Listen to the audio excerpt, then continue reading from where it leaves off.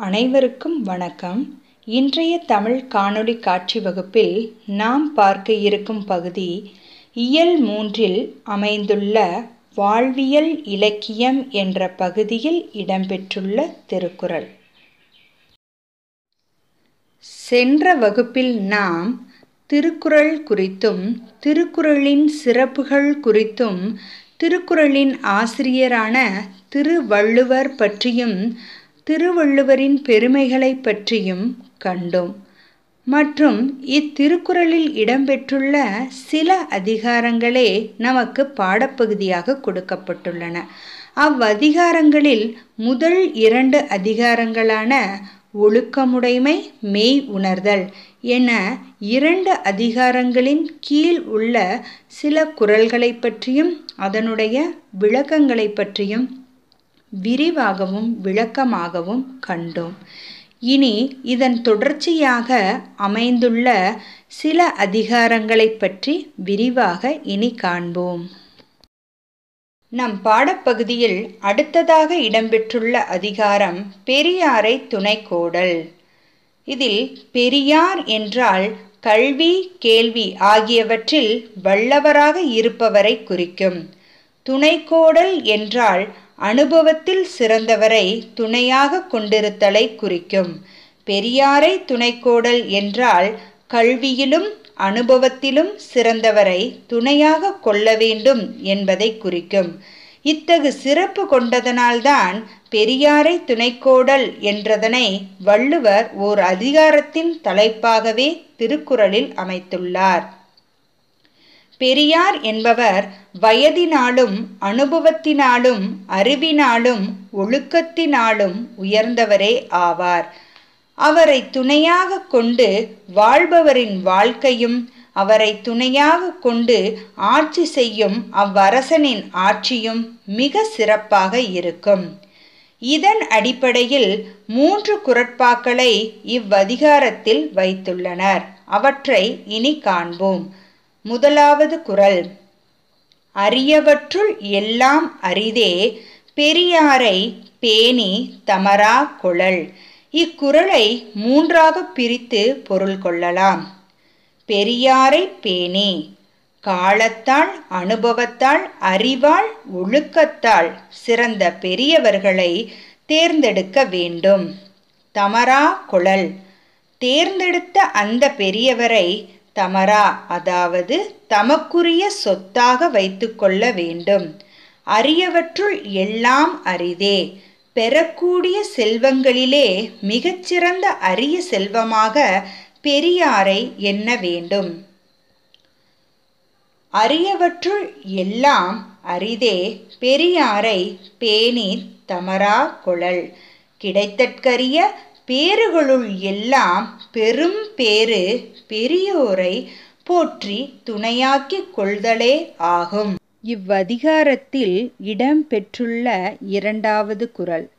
இடிப்பாறை இல்லாத ஏமரா மன்னன் கெடுப்பார் இலானும் கெடும்.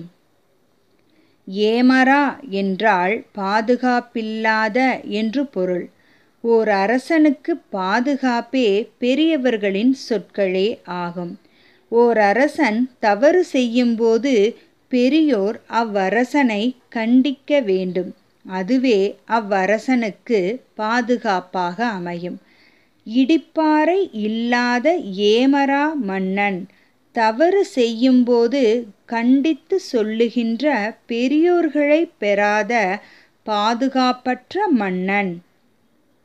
கெடுப்பார் இழானும் கெடும். அவனை கெடுப்பதற்கு ஒருவன் இல்லாவிட்டாலும் அவன் ஆட்சி கெட்டொழியும். இடிப்பாரை இல்லாத ஏமரா மன்னன் கெடுப்பார் இழானும் கெடும். ஆக ஓர் அரசன் நல்லாட்சி புரிய வேண்டுமானால் அவ்வரசன் தவறு செய்யும்போது கண்டித்து சொல்லக்கூடிய பெரியவர்களின் துணை கட்டாயம் வேண்டும். அவ்வாறு பெரியாரை துணை கொள்ளாத பாதுகாப்பற்ற அரசன் அவனுக்கு பகைவர் இல்லையானாலும் தானே கெட்டழிவான் என்பதனை இக்குறள் வழி அறிந்தோம். இவ்வதிகாரத்தில் இடம்பெற்றுள்ள மூன்றாவது குறள். பல்லார் பகைகொளலின் பத்தடுத்த தீமைத்தே நல்லார் தொடர்கை விடல். ஆயிரக்கணக்கான பேரை நாம் எதிர்க்க எதிர்த்து போரிட நமக்கு துணிச்சல் வரும். எப்பொழுது என்றால் நட்பண்புடைய நல்லார் துணை இருக்கும்போது அப்படிப்பட்ட நல்லார் துணையை கைவிட்டு விட்டால் சிறந்த சான்றோரின் தொடர்பை கைவிட்டு விட்டால் பல மடங்கு அதாவது ஆயிரம் மடங்கு தீமையை பெறுவர். பல்லார் பகைக்குழலின் பத்தடுத்த தீமைத்தே நல்லார் தொடர்கை விடல். தான் ஒருவனாக நின்று பலரோடு பகை மேற்கொள்வதைக் காட்டிலும் பல மடங்கு தீமையை தருவது நட்பண்புடையோரின் நட்பை கைவிடுதல் ஆகும் அடுத்ததாக இடம்பெற்றுள்ள அதிகாரம் கொடுங்கோன்மை. செங்கோன்மை என்றால் நீதியுடன் கூடிய ஆட்சி முறை. கொடுங்கோன்மை என்றால் கொடிய ஆட்சி முறை அதாவது மக்களுக்கு துன்பம் செய்கின்ற ஆட்சி முறையை குறிக்கும். வேலோடு நின்றான் இடு என்றது போலும் கோலோடு நின்றான் இரவு. ஓர் அரசன் மக்களிடம் அதிகப்படியான வரியை வாங்குகிறான். இதனால் அம்மக்கள் தம் வாழ்க்கையில் பெருந்துன்பத்தை நாட்டில் அனுபவிக்கின்றனர். இதை ஒரு அழகான சான்று மூலம் திருக்குறளில் கூறுகிறார் திருவள்ளுவர். அரசன் மக்களிடம் தன் அதிகாரத்தை பயன்படுத்தி வரிகளை பெறுவது ஒரு திருடன் வேல் போன்ற ஆயுதங்களை ஏந்தி இரவில் வழியில் செல்லும் மக்களை துன்புறுத்தி வழிப்பறி செய்வதை போன்றதாகும் என்கிறார் வள்ளுவர். இவ்வாறு ஒரு அரசனின் கொடுங்கோல் ஆட்சியை குறிப்பிடுகிறார். வேலொடு நின்றான் இடுவென்றது போலும் கோளோடு நின்றான் இரவு. ஆட்சி அதிகாரத்தை கொண்டுள்ள அரசன் தன் அதிகாரத்தை கொண்டு வரி விதிப்பது வேல் போன்ற ஆயுதங்களை காட்டி வழிப்பறி செய்வதற்கு நிகரானதாகும். இக்குறளில் உவமையணி இடம்பெற்றுள்ளது. இவ்வதிகாரத்தில் இடம்பெற்றுள்ள இரண்டாவது குறள் நாள்தொறும் நாடி முறை செய்யா மன்னவன் நாள்தொறும் நாடு கெடும். முறை என்றால் நீதிநெறி தவறாத ஆட்சி. ஒரு நாட்டின் ஆட்சி பொறுப்பில் இருக்கின்ற அரசன் தன் நாட்டின் நிலையை ஆராய்ந்து ஆராய்ந்து நீதிநெறி தவறாமல் ஆட்சி செய்ய வேண்டும். நாள்தோறும் தினம்தோறும் நாடி ஆராய்ந்து முறை செய்யா மன்னவன் நீதி அறிந்து ஆட்சி செய்யாத அரசன். நாள்தோறும் நாடு கெடும். ஒவ்வொரு நாளும் நாடு கெட்டு அழியும். நாட்டில் செங்கோன்மை செலுத்தாமல் கொடுங்கோன்மை அதாவது ஆராயாமல் ஆட்சி செய்து வந்தால் அந்த நாடு நாள்தோறும் அழிந்து கொண்டே போகும். அந்த நாட்டை ஆட்சி செய்யும் அரசனும் அழிவான். நாள்தொறும் நாடி முறை செய்யா மன்னவன் நாள்தொறும் நாடு கெடும். தன் நாட்டில் நிகழும் நன்மை தீன்மைகளை ஒவ்வொரு நாளும் ஆராய்ந்து ஆட்சி செய்யாத மன்னவன் தன் நாட்டை நாள்தோறும் இழக்க நேரிடுவான். கொடுங்கோன்மை என்ற அதிகாரத்தை தொடர்ந்து அடுத்ததாக இடம்பெற்றுள்ள அதிகாரம் கண்ணோட்டம். கண்ணோட்டம் என்றால் கண்ணினால் காட்டக்கூடிய இரக்க உணர்வு என்பது பொருள். ஏன் அதை கண்ணோட்டம் என்று சொன்னார் வள்ளுவர்? அதை காதோட்டம் வாயோட்டம் மூக்கோட்டம் என்று கூறியிருக்கலாம் அல்லவா? இரக்கத்தை வெளிப்படுத்தக்கூடிய அதாவது காட்டக்கூடிய ஒரே உறுப்பு கண்களாம். அதனாலேயே திருவள்ளுவர் கண்ணோட்டம் என பெயர் வைத்துள்ளார். இவ்வுலகில் மனிதனாக பிறந்த ஒவ்வொருவனுக்கும் இருக்க வேண்டிய உன்னத நிலை வாழ்க்கை நிலை அது கண்ணோட்டமாகும். தனக்கு என்று வாழாமல் பிறர்க்கு என்று வாழும் மனிதர்கள் இவ்வுலகில் இன்னும் இருக்கிறார்கள். அதனால்தான் இவ்வுலகம் இன்னும் அழியாமல் நிலை பெற்று இருக்கின்றது என்கிறார் இளம்பெருவழுதி. கண்ணிற் சிறந்த உறுப்பில்லை யாவது காட்டியதே. நம் உடலில் இருக்கும் உறுப்புகளிலெல்லாம் நம் மனப்பாட்டை வெளிப்படுத்தும் உறுப்பு கண்களாம். அதனாலேயே கண்ணிற் சிறந்த உறுப்பில்லை என்கிறார். அகத்தின் அழகு முகத்தில் தெரியும். அகம் என்றால் மனம். மனத்தில் தோன்றக்கூடிய இன்ப துன்பங்களை காட்டக்கூடியது முகம். அதனால்தான் உள்ளத்தை காட்டிக் கொடுக்கும் சிறந்த உறுப்பாக கண்ணை வைத்துள்ளார். இத்தகு சிறப்புகள் வாய்ந்த இவ்வதிகாரத்தில் இடம்பெற்றுள்ள முதல் குறள் பண் எண்ணாம் பாடல் இயைபின்றேல் கண் எண்ணாம் கண்ணோட்டம் இல்லாத கண். பண் என்றால் இசை என்பது பொருள்.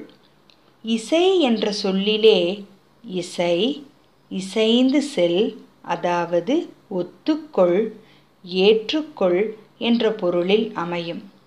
இசை பாடலோடு பொருந்தவில்லை என்றால் இசையினால் என்ன பயன்? ஒரு பயனும் இல்லை.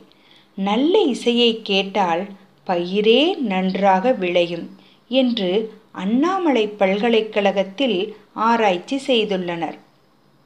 அதில் வெற்றியும் கண்டுள்ளனர். தினந்தோறும் வயலில் அமர்ந்து இனிமையான பாடலை பாடும்போது சாதாரண வயலை விட அதிக விளைச்சலை தந்ததாக கூறுகின்றனர். அப்படியென்றால் இசையை ஓரறிவு உயிராக இருக்கின்ற புல்லும் ரசிக்கும் என்கிறார். பாடலோடு பொருந்தினால் மட்டுமே இசை நன்றாக இருக்கும். இல்லையென்றால் அவ்விசை சிறப்பாக இருக்காது. அதைத்தான் திருவள்ளுவர் பண் எண்ணாம் பாடல் இயைபின்றேல் கண் எண்ணாம் கண்ணோட்டம் இல்லாத கண் என்கிறார். பாடலோடு பொருந்தவில்லை என்றால் பண்ணினால் அதாவது இசையினால் என்ன பயன்? எந்த பயனும் இல்லை. அதுபோல உன்னிடம் இரக்கம் இல்லாவிட்டால் உன் முகத்தில் உள்ள கண்ணினால் எந்த பயனும் இல்லை என்று கூறுகிறார் வள்ளுவர். கண்ணோட்டம் இல்லாத கண் எப்படி பயனில்லாததோ அதுபோல பாடலோடு பொருந்தாத இசையினால் எந்த பயனும் இல்லை.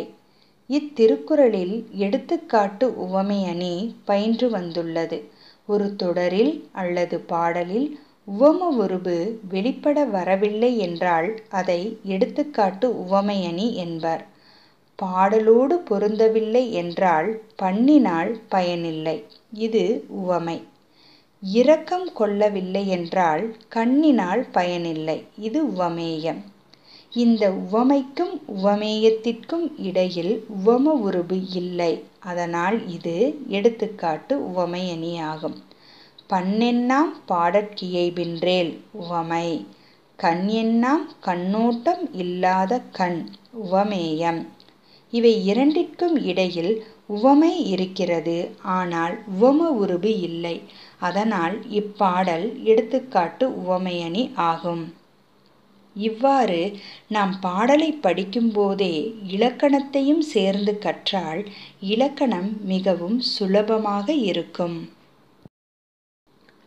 கண்ணோட்டத்தில் இடம்பெற்றுள்ள இரண்டாவது குறள் கருமம் சிதையாமல் கண்ணோட வல்லார்க்கு உரிமை உடைத்து இவ்வுலகு.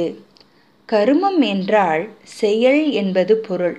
ஆனால் இவ்விடத்தில் நடுவு நிலைமையை குறிக்கும். இந்த உலகம் யாருக்கு உரிமையுடையது? அனைவருக்கும் உரிமையுடையது. ஆனால் திருவள்ளுவர் இல்லை என்று உரைக்கிறார். அப்படியென்றால் யார் இவ்வுலகத்தை உரிமை கொண்டாட முடியும்? கருமம் அதாவது நடுவு நிலைமை தவறாமல் ஆட்சி செய்கின்ற அரசனுக்கே உரியது இவ்வுலகம். கருமம் சிதையாமல் கண்ணோட வல்லார்க்கு உரிமை உடைத்தது இவ்வுலகு. கருமம் தவறாது நடுவு நிலைமை தவறாமல் கண்ணோட வல்லார்க்கு இரக்கம் காட்டுபவர்க்கு உரிமை உடைத்து இவ்வுலகு உரிமை உடையது இவ்வுலகமாகும். அதாவது நன்மை தீமைகளை அறிந்து நடுநிலையாக கடமை தவறாமல் இரக்கம் காட்டுபவர்க்கே இவ்வுலகம் உரிமை உடையதாகும் என்கிறார் வள்ளுவர். கண்ணோட்டத்தில் இடம்பெற்றுள்ள மூன்றாவது குரல். பெயக்கண்டும் நஞ்சுண்டு அமைவர் நயத்தக்க நாகரிகம் வேண்டுபவர். நயத்தக்க என்றால் எல்லோராலும் விரும்பப்படுபவர் என்பது பொருள். கண்ணோட்டம் என்பதற்கு பரிமேலழகர் அருமையான விளக்கத்தை தருகிறார். கண்ணோட்டம் என்றால் பழகியவர் கூறியன மறுக்க மாட்டாமை என்கிறார்.